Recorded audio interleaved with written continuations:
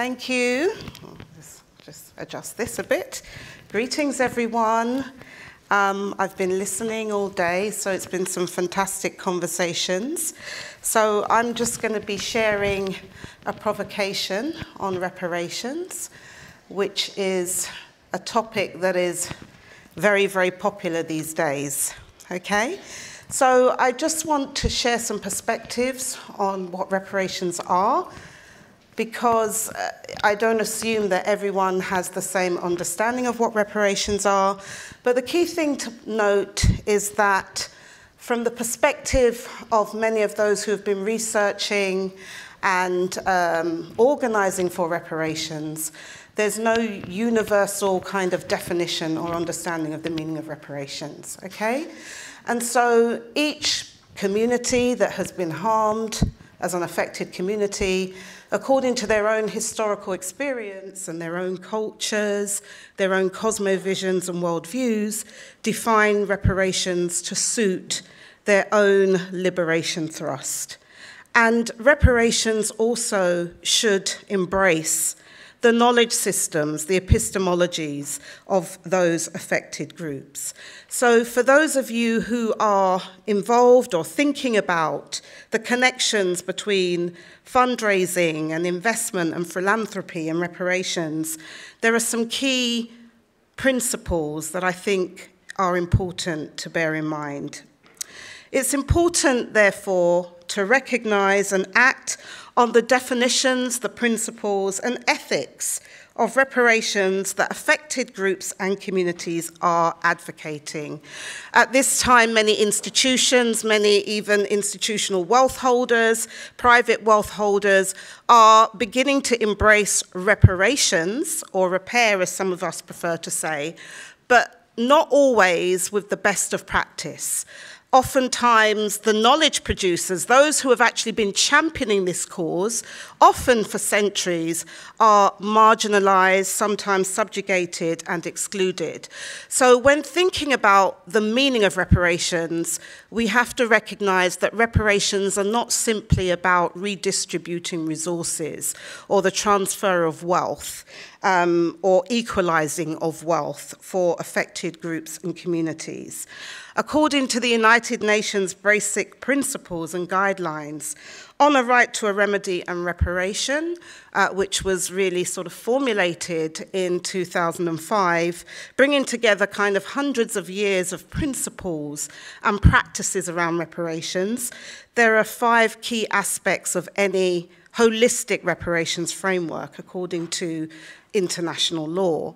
And I begin with the stopping of the harm. So we've been talking, and various ones and ones of you have been emphasizing the harm, the harm of dominant funding models, the harm of the dominant economic system and models, and how that is creating inequalities, further inequalities in this system of um, polycrisis that we have.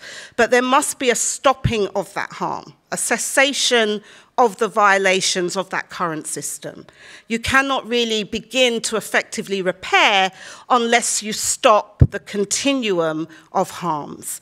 And this is not just about what happened historically, it's about the impact of that history, which uh, we've heard about today on contemporary populations. So stopping of the harm is the first principle. Then there is this notion of what's called restitution, which is really a full restitution process would put people or a group back in a position they would have been in, but for chattel enslavement, colonialism, imperialism, etc. And in many instances, full restitution may not even be possible.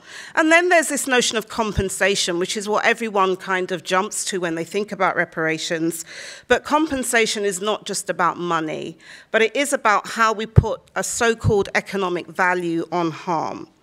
But it can also entail, not, as I said, not just money, but in terms of the transfer of resources, the value of lands, the value of trade justice, etc., etc. And then there's this notion of uh, satisfaction, which is known as symbolic reparations. So, satisfaction are uh, removing statutes to colonizers and changing the curriculum and changing street names. And sometimes it might involve legal actions against corporations that are polluting the environment today, for instance, as a legacy, that ecocidal legacy that also accompanies genocide. And then there is the rehabilitation, which speaks to the need for healing for affected groups and communities. So this is the basic UN framework on reparations, and most reparations uh, uh, policies and procedures and initiatives emphasize compensation rather than aspects such as the guarantees of non-repetition, which is how do we ensure those harms don't get replicated, not only for the specific community or group, but for other people as well. Then there is something called the Belfast Guidelines on Reparations in Post-Conflict Societies, which outlines good practices to inform uh, you know, reparations measures uh, that civil society actors, uh, funders, institutions may take. And it really gives practical guidelines on how you will implement a reparations framework. So within reparations movements, of which there are many, um, there are, as I said, different notions of what reparations look like. Speaking from somebody who is part of the international social movement for African reparations, not only do we recognize international law, we recognize a framework that is called the Chimwezi framework that really emphasizes that reparations is about repair. The root of that word comes from repare, meaning to repair. And those repairs must be holistic. Self made repairs are a key part of reparations. And a lot of the that should be happening should be recognizing the actual self repairs that communities and affected groups are taking to rebuild themselves, to re-establish their agency and their self-determination. It's also mental, psychological repairs, cultural, organizational, institutional, social, uh, economic, technological, political, family repairs, repairs in our group relationships, as well as our interpersonal dimensions, and repairs to the reputation of uh, groups that have been um, defamed and slandered. Just for instance, like a whole category of people that I come from in terms of my African ancestors being classified and just defined as slaves, as though they had no humanity, no civilization, and no culture before chattel enslavement. But the key thing to emphasize, coming from many uh, re uh, reparations movements from uh, not only African heritage, but indigenous peoples, is that reparations is seen as a, a transformative thing. It's seen as a way of not only transforming our own situation as groups, but also how we can transform and rebuild the world. And in that regard, Professor Maulana Karenga, who is an African ethicist, articulates that reparations is a process of the repairing and the remaking of a people who are in the process and the practice of repairing, renewing, and remaking the world.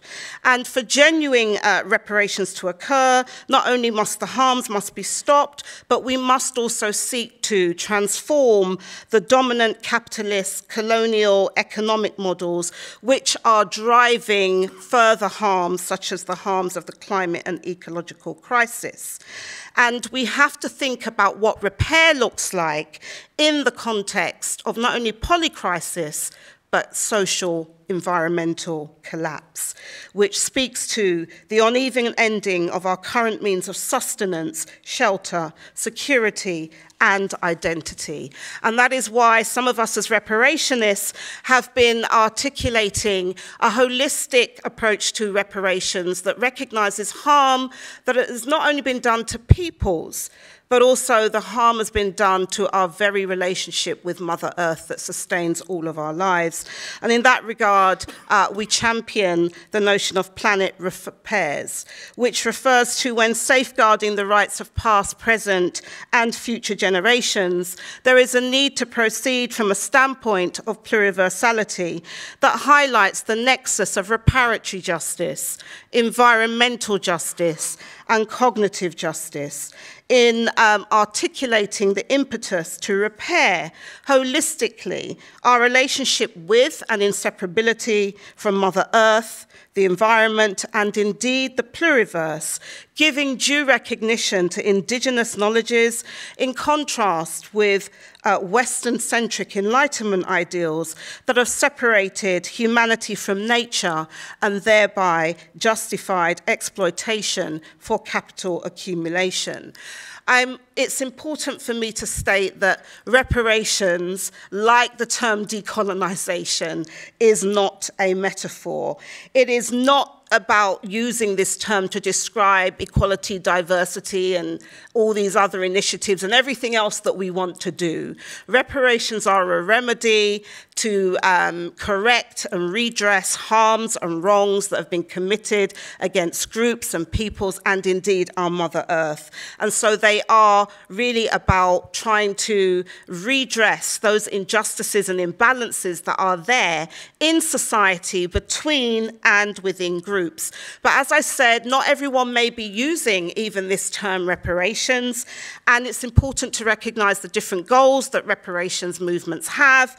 Uh, this includes transcending racial capitalism, narrowing the racial wealth gap, but oftentimes that discourse and analysis looks at the racial wealth gap in the global north, say in the United States of America and here in the UK, but it doesn't look at the global wealth gap in terms of the impact of imperialism on different parts of the world. And to truly narrow the wealth gap, we would have to have a global uh, rebalancing of the wealth gap. It includes radical wealth redistribution and notions of what's known uh, and referred to by many indigenous people as rematriation, land back, sovereignty back. But it's not just about the land, it's about our kinship, it's about our ceremonies back, our languages, our cultures, our heritage, our lifeways, our waters, our plants, our uh, relations, uh, our ancestors back. This is a holistic notion of what reparations looks like.